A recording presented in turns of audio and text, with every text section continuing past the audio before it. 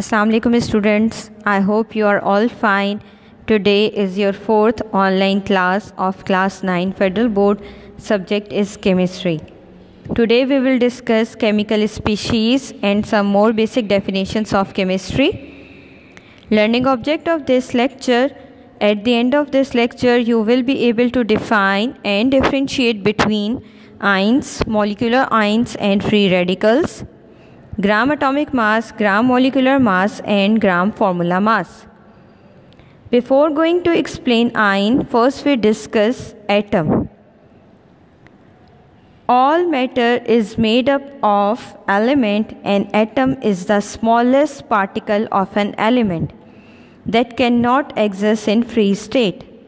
Atoms are the building block of everything in this universe including ourselves. Each atom has a dense center called nucleus. Nucleus contain protons and neutrons. Protons are positively charged particles and neutrons are neutral. Revolving around the nucleus like a planet around the sun are the negatively charged particle called electron. Electron and protons attract each other. Usually they are equal in number so, atom is electrically neutral and bears no electrical charge. Now we discuss ion. All of you know that atom has equal number of electrons and protons. When atom lose or gain electron, they form, they form ion. An ion is a charged species Charge may be positive or negative. It is charged because it contains unequal number of protons and electron. On the basis of loss or gain of electron, there are two types of ion, cations and anions. When atom lose one or more electron, then it become a positively charged ion and this type of ion is called cation. But when atom gain one or more electron, then it become a negatively charged ion and this type of ion is called anion. Now we discuss molecular ion and free radical. First we discuss molecular ion. All of you know that when one or more atom combine, they form a molecule. So, when a molecule loses or gain electron, then the resulting species is called molecular ion. For example, when oxygen molecule loses one electron, then it form O2 plus ion. Molecular ions are short-lived species and only exist at high temperature. Now free radical. A free radical is an atom which has an unpaired electron means in which one electron is unpaired or we can say that it has odd number of electrons and bears no electrical charge.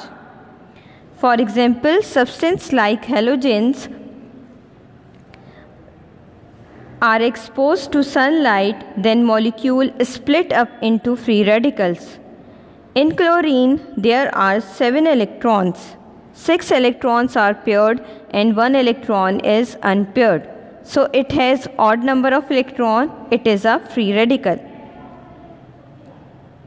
In our previous lecture, we will discuss about atomic mass, molecular mass and formula mass.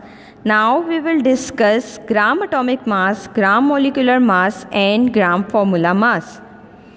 First we discuss gram atomic mass. Atomic mass of an element expressed in gram instead of AMU, then it is called gram atomic mass.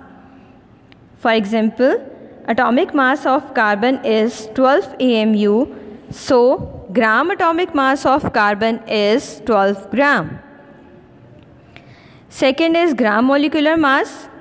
Similarly, when molecular mass of a substance expressed in gram, then it is called gram molecular mass.